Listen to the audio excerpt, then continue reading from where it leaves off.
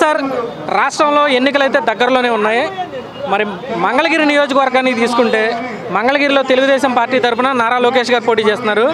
ప్రస్తుతం వైసీపీ తరపున ఆళ్ళ రామకృష్ణారెడ్డి గారు ఇక్కడ ఎమ్మెల్యేగా ఉన్నారు. మరి ప్రధానంగా ఇక్కడ తెలుగుదేశం పార్టీ నుంచి కొంతమంది వ్యక్తులు నాయకులు అనేవాళ్ళు సడన్గా రాజీనామా చేసి వెళ్ళిపోతున్నారు. దీనివల్ల లోకేష్ గారు ఇక్కడ ఓడిపోతారని చెప్పేసి ప్రచారం కూడా జరుగుతోంది. అసలు ఈ నియోజకవర్గంలో ఈసారి ఎవరి గెలుపుకి అవకాశాలు ఎక్కువ ఉన్నాయని మీరు అనుకుంటున్నారు? హండ్రెడ్ పర్సెంట్కి one fifty five percent Lokesh Babu మంగళగిరిలో దింపుతాం ఓట్లు. అది కన్ఫామ్. రాసుకోమనండి. ఎన్ని డైరీలు రాసుకుంటారో రాసుకోమనండి. ఈసారి అధికారంలోకి వచ్చేది తెలుగుదేశం ప్రభుత్వం. ఈ రౌడీ రాజకీయ ప్రభుత్వం రావు. బయటకు వచ్చి మాట్లాడితే కేసులు పెడుతున్నారు. ముందర పోలీసు వాళ్ళే ముందర ఉంటున్నారు. కొడటానికి దేనికి ఒక అక్రమ కేసులు. అందుకని మీరు మైకులు పెడుతున్న ఎవరు మాట్లాడలేదు భయం అంటే అందుకనే. ఇక్కడ మంగళగిరి నియోజకవర్గం అభివృద్ధి జరగటానికి నారా లోకేష్ బాబు గారే కారణం. ఒక హైటీ హబ్బు కట్టారు అక్కడ. దేనికి పనికిరాక పందులు అలా తిరిగే దాన్ని ఆటో నగర్ని ఒక హైటీ కప్పు కట్టి కొన్ని వందల మందికి ఉద్యోగాలు ఇద్దామని చెప్పేసి అడుగు పెట్టారు. దాన్ని నాశనం చేసి పాడేశారు ఇక్కడ ఉన్న ఎమ్మెల్యే కానీ ప్రభుత్వం కానీ దరిద్రమైన ప్రభుత్వం ఇది. తీవ్రంగా ఖండిస్తున్నాం. ఈసారి ఓటు దయచేసి మారండి. మీకు దండం పెట్టి చెబుతున్నాను. దయచేసి మారండి. నారా చంద్రబాబు నాయుడు గారికి ఓటేయండి. లారా లోకేష్ బాబు గారికి ఓటేయండి. మన మంగళగిరి మన లోకేష్ బాబు మనది అంతే. సార్ మరి తెలుగుదేశం పార్టీ నుంచి బీసీ నాయకుడు గంజి చిరంజీవి గారు రాజీనామా చేసి పక్కెళ్ళిపోయారు మరి ఆయన వెళ్తూ వెళ్తూ బీసీలకు అసలు తెలుగుదేశం పార్టీలో చోటు లేదు బీసీలను అవమానిస్తున్నారని చెప్పి వెళ్ళిపోయారు. దీనిపైన ఏమంటారు? ఆయనకి ఏం నష్టం జరిగిందోనన్న ఇప్పుడు చిన్న చిన్న నాయకుల్ని ఇట్లాగ అన్నారు. పెద్ద పెద్ద నాయకుల్నే ఒత్తిడి చేసి లాగేసుకుంటున్నారు. చిన్న నాయకుడు గంజి చిరంజీవి గారు ఆయన ఏం చేశారు?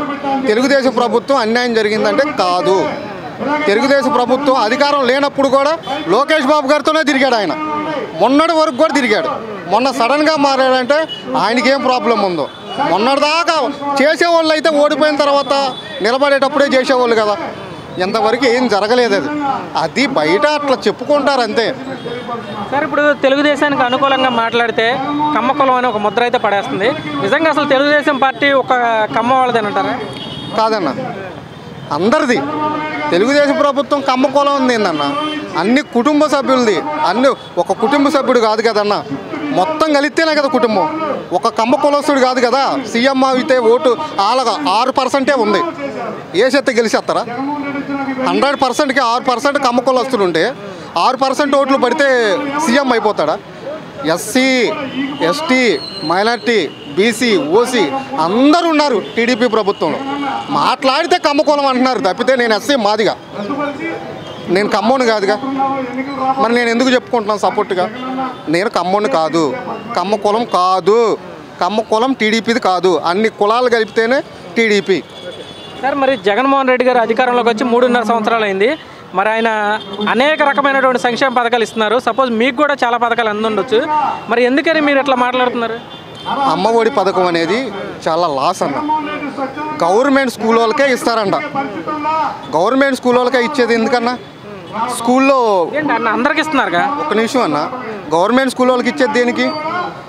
భోజనం free books free shoe free education free అన్నీ ఫ్రీగా ఇచ్చినప్పుడు మళ్ళీ ఇదెందుకన్నా? ఫస్ట్ పదిహేను వేలు ఇచ్చారు. తర్వాత పద్నాలుగు వేలు ఇచ్చారు. ఇప్పుడు మళ్ళీ పదమూడు వేలు అంటున్నారు. ఇంకెందుకు? ఇవ్వడం ఎందుకు? తీసుకోవడం ఎందుకు?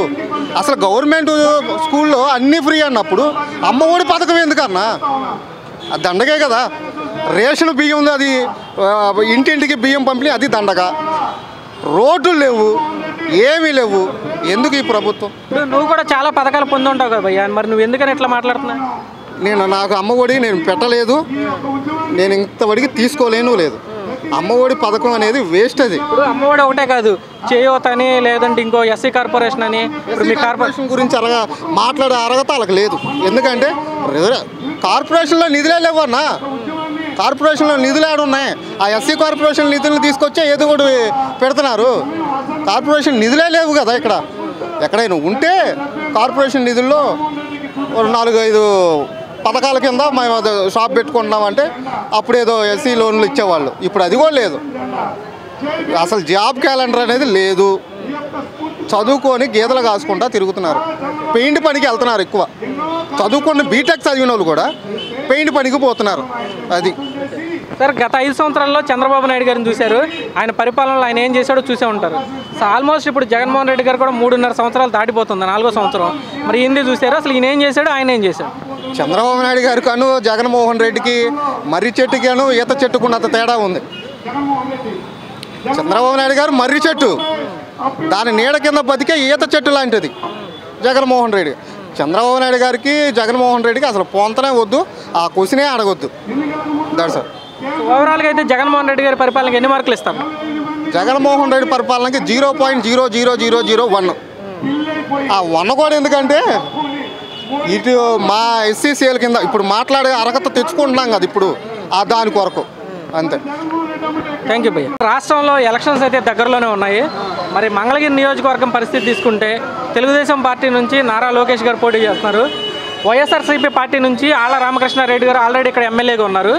మరి ఈసారి ఎన్నికల్లో గెలుపు అవకాశాలు ఎవరికి ఎక్కువగా ఉన్నాయి అనుకుంటున్నారు? నారా లోకేష్ గానండి గ్యారంటీ మెజార్టీతో బయట పడతాడు అది. గ్యారంటీ బయటకు వస్తాడు. నారా లోకేష్ గ్యారంటీ గెలుస్తాడు అది. సో ఎందుకని? అంటే ఇప్పుడు తెలుగుదేశం పార్టీ నుంచి ప్రధానమైన ఊళ్ళో గ్రామంలో తోపుడు బళ్ళు నెట్టుడు బళ్ళు పెళ్ళి కానుకలు బాగానే ఇస్తున్నాడు నారా లోకేష్ బాబు. ఎవరైనా ఇంటికైనా ఎవరైనా చనిపోయినా బీసీ కార్యకర్తలు అన్ని నారా లోకేష్ బాబు అందరూ బాగానే వస్తున్నారు ఎస్సీ క్యాండిడేట్ల దగ్గరికి. జగన్ గారు కూడా ఇస్తున్నారు కదా మరి సంక్షేమ పథకాలు? ఇస్తున్నాడు ఇస్తున్నాడు. బాగానే ఇస్తున్నాడు ఆయన. చేసినట్టు ఆయన చేస్తున్నాడు ఏం మనకైతే తెలియదు కానీ బాగానే చేస్తున్నాడు ఆయన. ఆయన కూడా చేస్తున్నాడు అంటే జగన్ గారి సంక్షేమ పథకాలు నీకేం తెలియదా? మనకేం తెలియదు. అంటే పింఛన్లు అయితే మా ఇంట్లో ఇస్తున్నారు. జగన్మోహన్ రెడ్డి మన ఇచ్చారు. ఇస్తున్నారు ఈసారి నియోజకవర్గంలో మాత్రం ఇక్కడ ఈయన గెలుస్తారా గ్యారంటీ మెజార్టీతో వస్తారు ఎందుకంటే ఆయన లోకేష్ బాబు డెవలప్ అన్నీ చేశారు. ఎందుకంటే ఆయన లోకేష్ బాబు బాగా చేస్తాడు.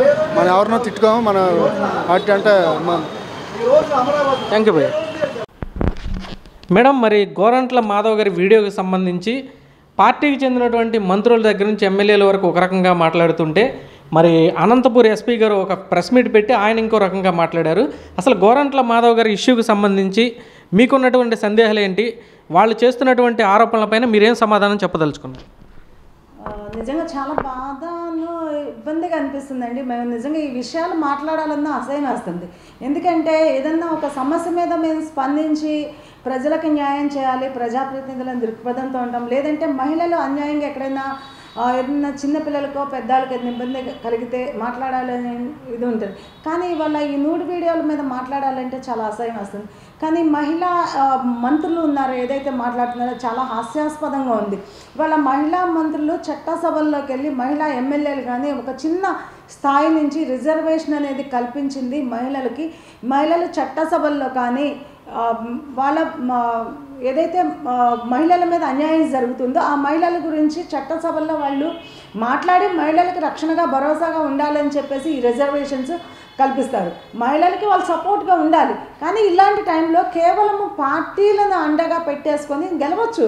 No problem. ఎవరైనా సరే ఒక పార్టీ నుంచి గెలిచారు. పార్టీ మీద అభిమానం ఉండాలి కానీ మహిళల మన ఆత్మగౌరవాన్ని దెబ్బతీసే విధంగా మీరు అలా చేయటం చాలా ఇబ్బందిగా ఉంది. ఒకటే చెప్తున్నాను రోజా గారు కానీ ఇంకొక మంత్రులు కానీ హోమ్ మినిస్టర్ గారు కానీ వాసిరెడ్డి పద్మా గారు ఎవరైనా సరే మనం పార్టీలను పక్కన పెట్టేద్దాం. ఫస్ట్ ఇది మహిళలకు జరుగుతుంది.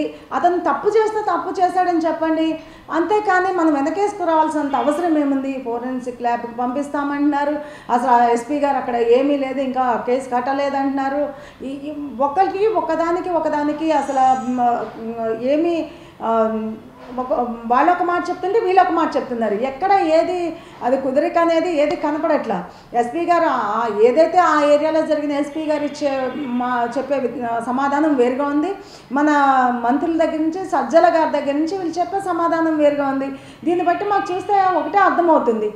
ఎందుకు వెనకేసుకొస్తున్నారా గోరంట్ల మాధవ్ గారిని? అంటే ఇది మహిళలకు సంబంధించిన ఇష్యూ మీద జగన్మోహన్ రెడ్డి గారు మాట్లాడి ఇది పార్టీల్లో అందరూ మంచిగా ఉండాలని కాదు. తప్పేం కాదు ఇది.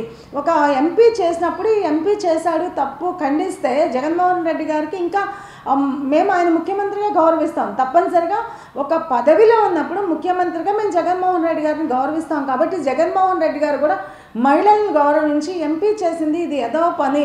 ఈ పదినికి ఖండనగా ఆయన మీద ఏదో ఒక పనిష్మెంట్ అనేదో లేకపోతే ఏదో చట్టపరమైన పనిష్మెంట్ అంటే మీరు అతన్ని ఏదో చేసేమని చెప్పట్లా. చట్టపరమైన చర్యలు తీసుకోమని మేము కోరుకుంటున్నాము.